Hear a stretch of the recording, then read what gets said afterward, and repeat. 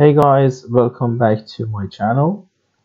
Uh, in this video I will show you how to read and analyze the Ford wiring diagrams uh, on two different cars with two different format of the wiring diagrams. So uh, whichever you see it's gonna be easy later on for you guys to uh, use them. The first one is the wiring diagram for uh, Ford territory from 2006 up to uh, 2000 11 and as you see uh, actually I'm showing you the index the main index for the uh, wiring diagrams. So uh, what we have here the first one is the general inf information.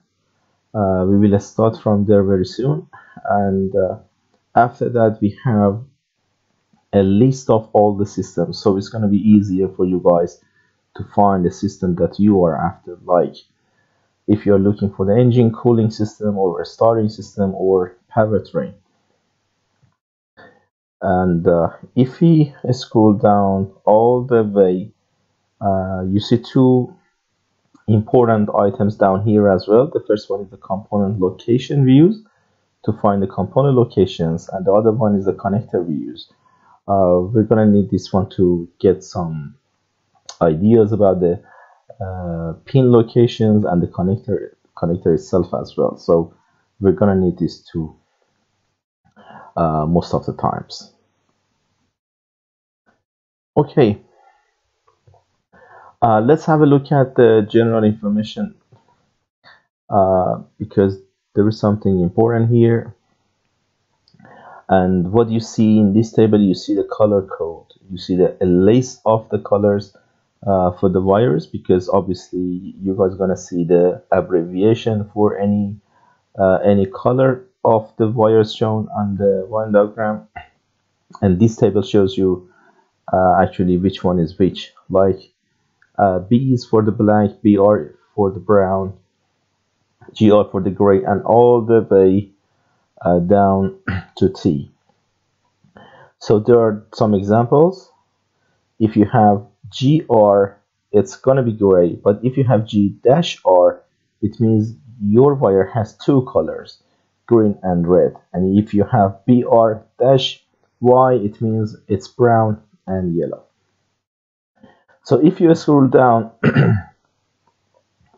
if you scroll down, you're gonna see some other uh, details on the general information like uh, different symbols like uh, just talking about the connectors but I'm gonna explain all these uh, on the wiring diagrams later on. Let's go back to main index. And between all these units I'm gonna uh, start from something much easier. At the first like horn. Uh, so it, there's not gonna be so many components there.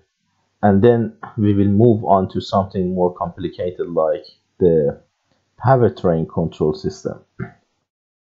Okay let's go for the horn. As you see this page is for the horn wiring diagram uh, first of all what what you see this is actually the the whole page not many components. But let's zoom in and see what components we have here. Uh, so the first one for any components, uh, you have a name next to the component like this one, clock spring, and you have the horn switch here uh, on the steering wheel. So junction box for the ground, and if we scroll down, this is BEM, and the horn itself is here, and the other one this one is engine fuse box because you guys gonna have the horn relay here and the fuse okay but first of all how we can read this wiring diagram then I'm gonna show you uh, how to get some more details in case you have any fault so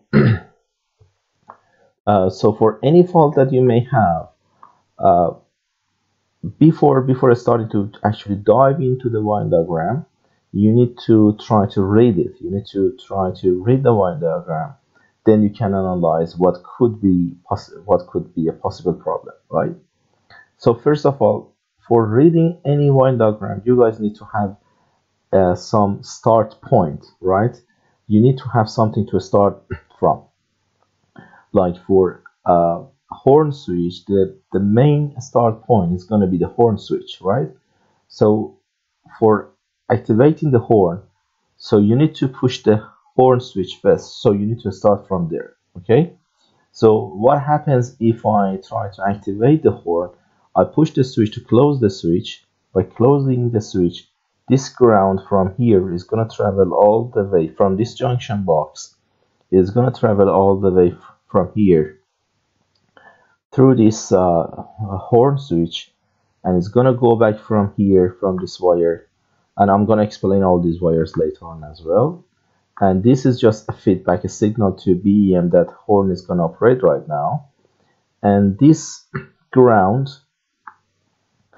will be delivered to the horn relay okay?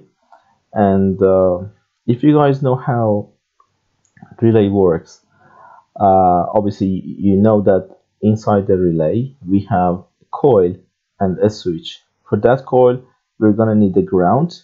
Obviously that ground is already delivered by the horn switch and we're gonna need a power as well to activate or to energize the relay.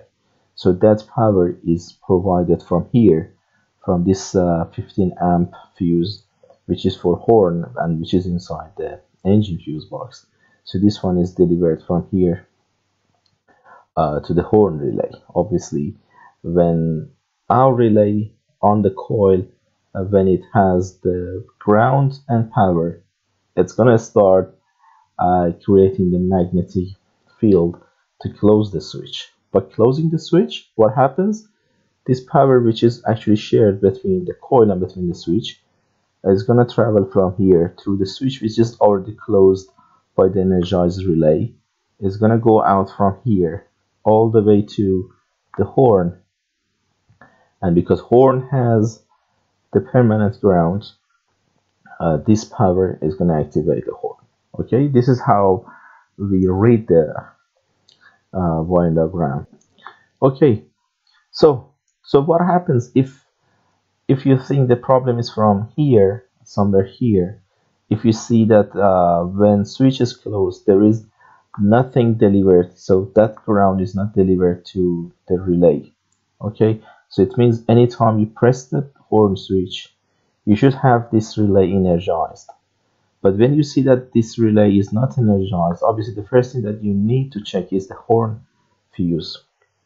If this horn fuse is okay and you have the battery voltage on these two end of the relays obviously the thing is going to be this ground. Maybe switch is not delivering the ground there is something wrong in the uh, switch itself okay? So you need to find the location of this component uh, you need to find a connector co connector for this and the pins as well because this is the input and this is the output right?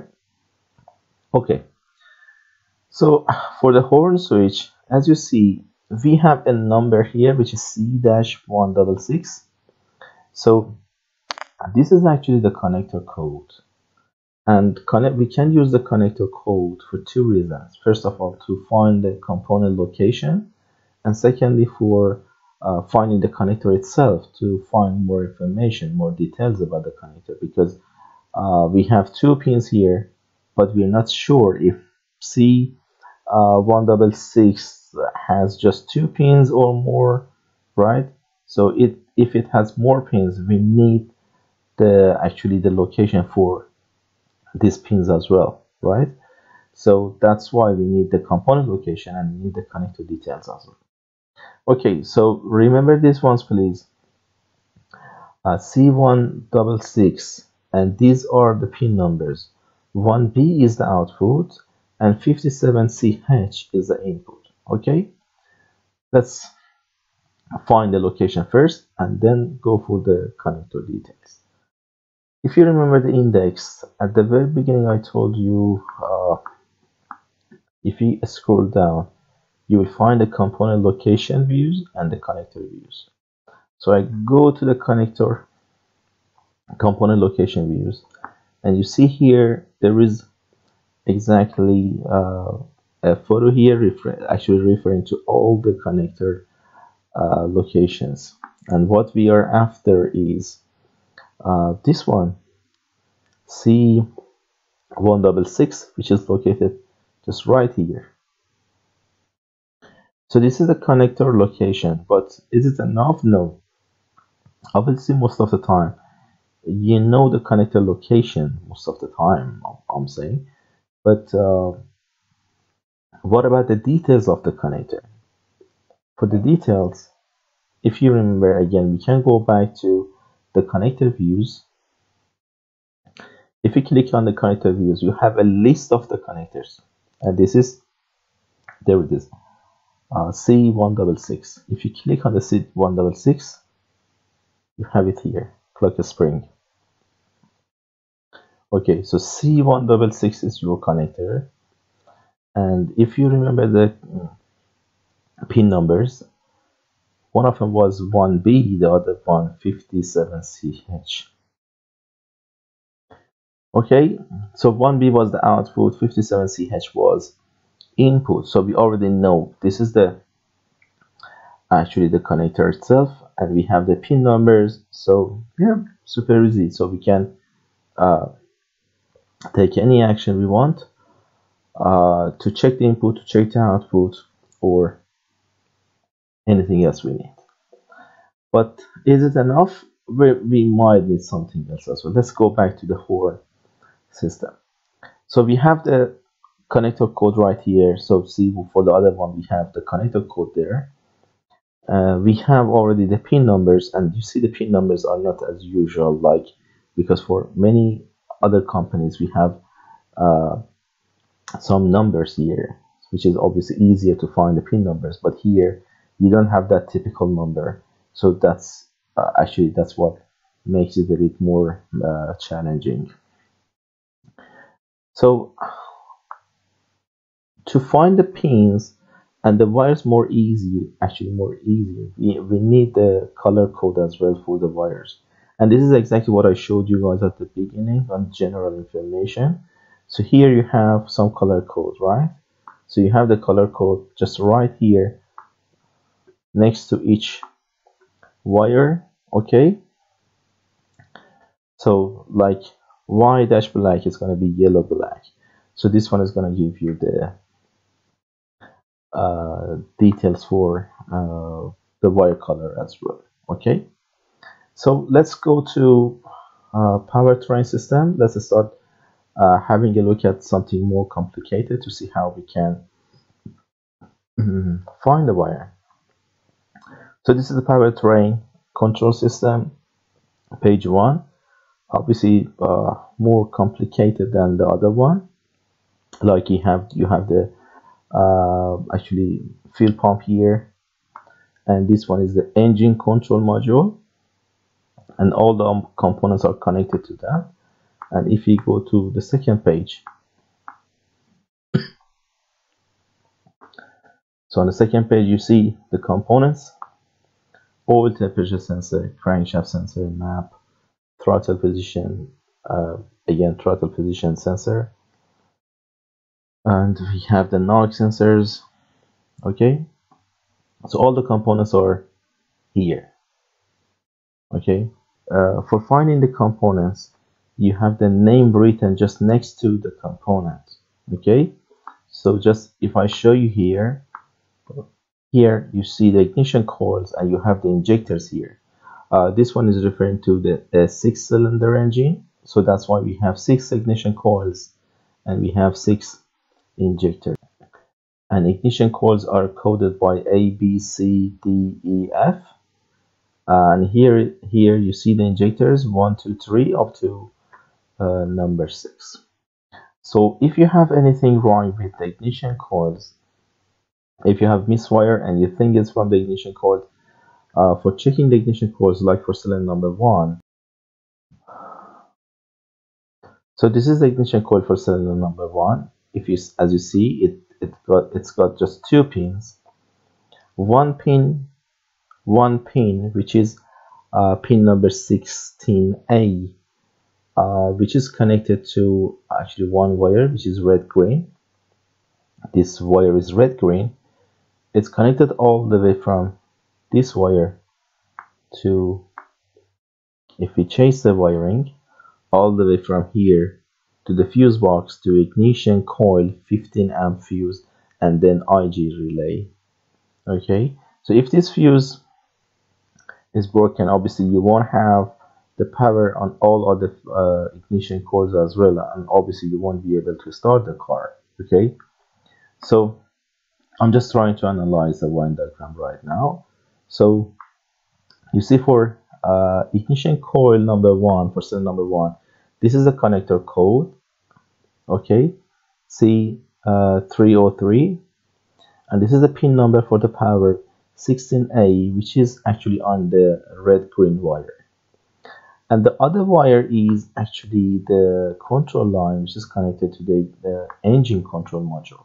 And if you see they have different colors for different ignition coil like for uh, for uh, for ignition coil cell number one uh, the pin number for control line is 1024 on a green wire on a green wire which is connected to the engine control module.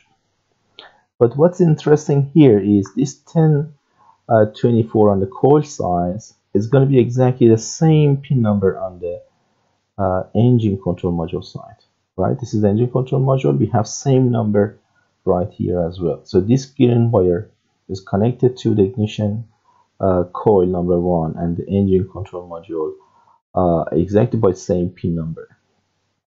But it's really easy to find it on the uh, ignition coil side because you just have two pins.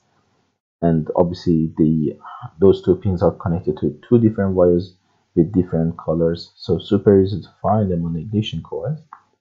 But here on uh, engine control module how how can we find them between all the these wires and pins. Uh, so 1024 is connected to uh, this connector. C300 okay? So C300 is actually the connector code for this case. So how are we gonna find the C300 the location? Because this engine control module does have uh, three connectors so C300 is actually one of them. So we need to find the location first. And the details for finding 1024 uh, uh, pin location. Again we go to component location views and we can just search for uh, C300 okay C300 is here and we're gonna find it just right there on this side of the engine. So this is the front side. It's located right here. Obviously this is gonna be the location of the engine control module uh, but if we find the connector details C300 here. This is the one. This is C300 uh, which is gonna give you all the details for that connector okay. And the pin number that we were after was 1024 see? This is a 1024 uh, pin number and it's giving you the uh, wire color as well which was gray okay 1024 so we have all the pin numbers here for different pins as well so you need to look for exactly same uh, configuration between those uh, three connectors because they are not exactly identical. Find the uh, the best match for these and this is going to be your uh, 1024 uh, for ignition coil number one. And that's it. You can do that for you can do that for other components as well. For any other components you can do the same thing. Okay guys you see the ignition coil number one. On this Ford exactly like the wiring diagram that uh, I was showing you it's got two pins. Okay so this red green is actually the power supply and the other green is the control line as you had exactly in the wiring diagram. So see? You got two pins and if you look at the back side of the connector so you got two wires. One is the red green and the other one is just the green. So green is going to be the control line for this ignition coil and uh, red green is the power supply for all uh, ignition coils on this car. Okay guys i'm removing the uh, engine control module. And uh, so you see there are uh, three connectors down there. So I'm gonna remove them one by one to see which one is C300 the one that I am after. Uh, okay I have already removed the ECM and these are the ECM connectors. And if you check the connectors two two of those connectors are pretty much similar. This one is very different so this is not the C300 that I'm after I need to just check between these two to see which one is the C300. And if you remember the wiring diagram that I showed you guys, the, the connector itself, if you remember on C300, we have just three pins down here and three pins down there. And the, the top one is already empty. So this is what wiring diagram shows us. Okay. So apparently considering the wiring diagram, because I have one pin up here and one pin up there. This is not C300 that I'm after. But if you look the other one, three pins, one empty, three pins, one empty. So this is the 300, C300 connector that I am after. So we are looking for, uh, actually that's a green wire for uh, ignition coil number one. Okay, let's see if we can find it here. So what wiring diagram shows us is uh, when you're looking at the connector from this way, this is going to be 1024, which is for control line and the ignition coil number one. Because we know the wire color is green, we need to just have a look at the back because the first uh, pin here is going to be the first wire here. And as, as you see, it's green, right? This is a green wire that I was uh, showing to you guys. And this is how you can use the uh, information on the wiring diagram to locate the wires and the pins uh, on the real car. Okay, let's go uh, to have a look at the other uh, wiring diagram, which is a bit different from this one. So this wiring diagram is for Ford Fiesta 2014. Um, and you're gonna see how it's how this one is different from uh, the previous one. So you have your index here. Uh, again, you have a list of all the uh, systems. Uh, so if you go for something like the fuse and relay box, fuse and relay box informations, okay, so you will have all the details of the engine fuse box and the interior fuse box here the location and all the details you might need. The other one is the component location views okay? So see the component location views are uh, a bit different from the previous one much more easier to uh, to understand. The quality actually is is better uh, and you have all the uh, details here too for to find the component locations, right? So you see uh, oil pressure control solenoid, NOx sensors, and all the details are here. Okay, but uh,